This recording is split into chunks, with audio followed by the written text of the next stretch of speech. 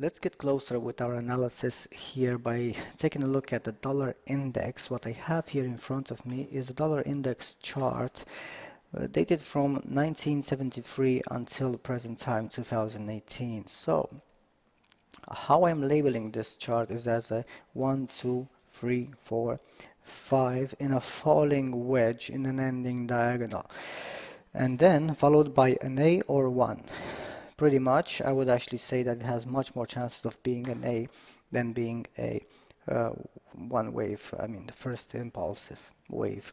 This is this is because if we were to um, take a look uh, closer, take a closer look at this piece right here, this rise, uh, which we're going to do, by the way, on the weekly chart once we once we finish up with this macro view.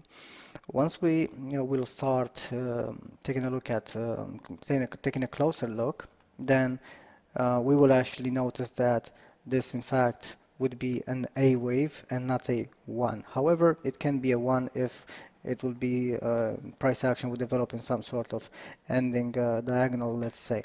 But for now, an A would be much more appropriate. And the reason why I'm labeling this as a 1, 2, 3, 4, 5 and not as a triangle is basically because, let's say from 1976 here, somewhere around there, yeah, the dollar did uh, gain some uh, some strength. And with that being said, I'm going to show you something else, which I basically, I managed to get my hands on the USD Japanese yen chart, which is basically dated from 1960 until then. And this picture basically, this this pretty much looks uh, more appropriate, let's say. So we could say that the dollar before before 1976 was much, much, much stronger.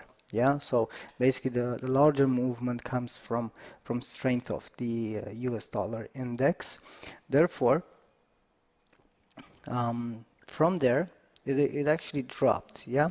So um, the, how I'm labeling this chart is basically in a falling wedge in an ending diagonal itself. So we, we would have A B C in cycle waves um, and then completing supercycle 1, then WXY in supercycle uh, 2, and then 1, 2, 3, 4, 5, supercycle 3, and then this triangle A, B, C, D, E, yeah, in supercycle wave 4, followed by an ending diagonal itself in wave 5, supercycle 5. So therefore, we would be completing grand supercycle A red. Now the reversal happened, of course, we broke through this trend line, yeah, of the ending diagonal itself, and pretty much we are consolidating in in these times. I mean, I'm pretty sure that you are aware of what's happening with uh, US US dollar yen, yeah. So we would be taking a look, a closer look right here, even with this piece right here. Um, basically when we go through the charts it will become much much clearer. However how I'm labeling this is, is as an A B C within the A and then this triangle being the B and 1 2 3 4 5 in the C thus completing an A wave. Now this move on the downside pretty much doesn't really look like it's the final uh, move. It would be followed by a larger contraction and then a deeper fall before the C wave would commence right here and go further up so we can actually complete a larger pattern. Now going back on the on the dollar index right there, I would actually say that this drop would not be the entire move in order for us to basically correct this A. So the USD JPY chart agrees with that dollar index chart does agree with that. That doesn't mean that we would not have a contraction.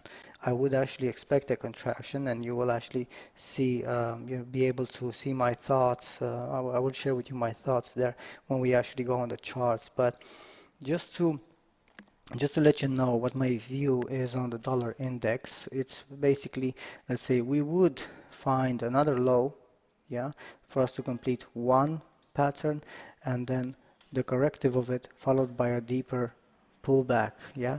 And that deeper pullback would be some sort of market uncertainty yeah? But even the rise would be quite big. So anyway I'm expecting a free waves free wave move here on the downside upside downside lower than this point.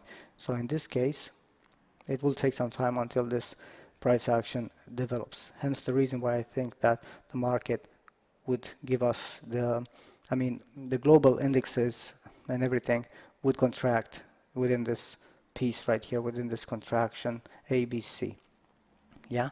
So that's that's basically it for the dollar index so far. Next we're gonna continue with the metals with gold XAU USD